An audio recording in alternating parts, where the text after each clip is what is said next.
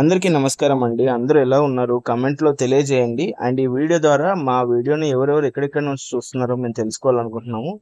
దయచేసి కమెంట్లో చెప్తే మాకు ఉపయోగంగా ఉంటుంది. థ్యాంక్ యూ సో ఈ రోజు మనము రేల పువ్వు ఇప్పుడు ఇక్కడ మనకు కనిపిస్తుంది కదా దీన్ని రేల పువ్వు అంటారు. రేల చుట్టూ రేల చెట్టు అని అడవిలో ఉంటాయి ఎక్కువగా. సో అటవీ ప్రాంతాల్లో ఉండే ఈ రేల చెట్టును మనకు ఎన్నో ఔషధ గుణాలు ఉంటుంది. ఈ దీని యొక్క ఆకులను కూడా మనం పచ్చడి చేసుకుంటాం పప్పు చేసుకుంటాం ఈ రోజు మనం మనకు మాకు మా ఊరు వెళ్ళినప్పుడు మొన్న ఎలక్షన్స్ అప్పుడు ఓటు వేయడానికి వెళ్ళినప్పుడు మా ఊరు వెళ్ళినప్పుడు మాకు ఇక్కడ రేల పువ్వు దొరికింది. అక్కడ నుంచి తెచ్చుకున్నాం. ఈ రోజు మనము రేల పువ్వు మామిడికాయ పప్పు చేస్తున్నాము. సో మనము ఇది రెగ్యులర్గా పప్పు చేసుకున్నట్టే ముందుగా కొద్దిగా నూనె వేసుకుని ఆ తర్వాత అందులో ఆవాలు జీలకర్ర ఇంగువ వేసిన తర్వాత మామిడికాయలు వేసుకోవాలి. ఇందులో ఆనియన్స్ వేయలేదు మేము.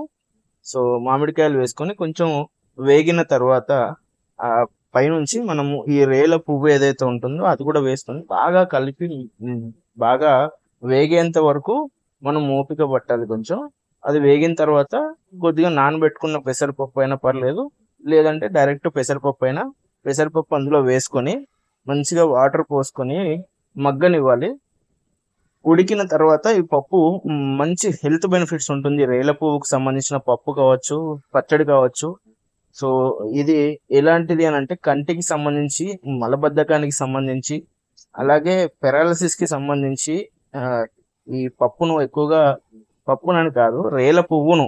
అంటే మనం పప్పు కానీ పచ్చడి కానీ రెండే చేసుకుంటాం కాబట్టి మనం పప్పు అని మెన్షన్ చేస్తున్నాం కానీ ఈ రెండే చేసుకొని ఎక్కువగా వాడుతూ ఉంటారు. కొంతమంది డైరెక్ట్గా కూడా అప్లై చేసుకుంటూ ఉంటారు. దీనికి సంబంధించిన ఇంకా డీటెయిల్స్ కావాలనుకుంటే మీరు గూగుల్లో వికీపీడియా ఉంది. రేల చెట్టు కానీ రేల పువ్వు అని కొడితే మనకు వికీపీడియాలో ఇంకా ఫుల్ డీటెయిల్స్ వస్తాయి. ఒక్కసారి చూసుకొని యూస్ చేసుకోండి. Thank you